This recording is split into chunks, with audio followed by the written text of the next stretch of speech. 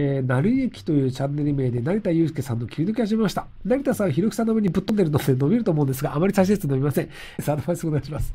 えっと、あの、たまたま、あの、成抜きさんのチャンネル見つけて、僕全部動画見てください。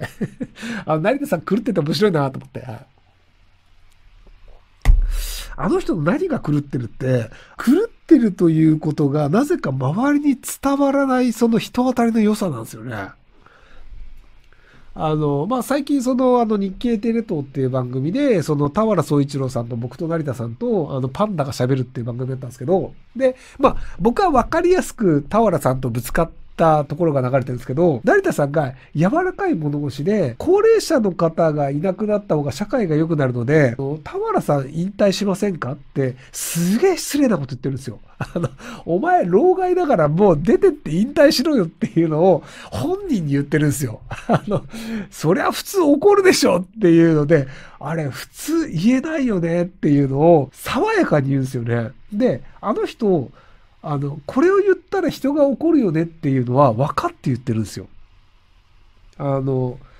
前にそのツイッターで、えっ、ー、とね、立花隆さんっていう、あの、なんちゃら党っていう党の人と、堀江貴文さんっていう、そこのなんかアドバイザーみたいなやってる人が、なんかあの政見放送みたいな動画をやってるのを見て、成田さんが、なんかなんか日本の縮図だよね、みたいな書き方をしたんですよ。で、それが、ちょっとあの、文言を忘れたんですけど、ある種馬鹿にしてる文言だったんですよ。で、あの、馬鹿にしてる文言で、相手の人が怒るよなっていうのも想定した上でやって、で、そのツイッターでその堀江さんが直に反論してきて、その堀江さんとその立花さんが出世していない日本をが良くないという意味で言ったんですみたいな、あの、すげえ口から出任せ的なことを書いてたんですよ。だから、あの、あ、相手が怒るっていうのもわかるし、で、そこで信念を書いてぶつかるのではなく、口から出任せを言って、その場を濁して OK って思うっていう、あの、要は、その場を濁すことが正しいという感覚も持ってるんですよ。で、要は、揉め事を起こしたくないのであれば、そもそも揉め事を起こすようなことを書かなければいいですよ。でも、揉め事を起こすようなことを書く割に、トラブルになったらトラブルを回収するというスキルも持ってるんで、本当頭おかしいなと思って見てるんですけど、はい。なので、あの、なんだ、あの人ね、そのモチベーションがわかんないですよね。あの、トラブル嫌なら揉め事を起こさなきゃいいじゃんと思うんですけど、揉め事を起こしに行っといて、トラブルになると、あの、スーって引くんですよ。で、あの、土下座も辞さないぐらいの引き方をするんですよ。いやいや、だって、思ってる信念あるんだったら、それ言ってぶつかればいいんじゃねって思うんですけど、ぶつかりませんみたいな。えー、なんでじゃあ最初にひどいこと言ったのみたいな。っていう、あのね、不思議な感覚を持ってる人なので、面白いなと思って見てます。はい。なんだっけな、あの、なんか、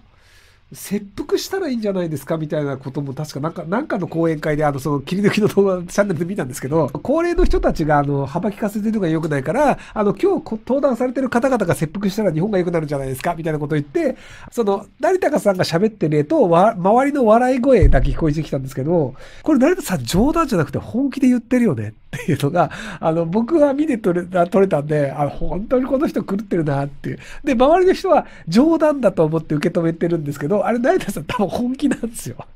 あの、要は、日本社会良くしたいって、老害の人が思ってるんだったら、お前ら死ねばっていうのは、あの確かに正しいんですけど、うん、それ言っちゃダメだよ。みんな怒るよって分かっててやるんですよね。不思議ですよね、あの人。はい、すいません。なあのちょっと最近成田さん面白いなと思ってて、話になりました。すいません。はい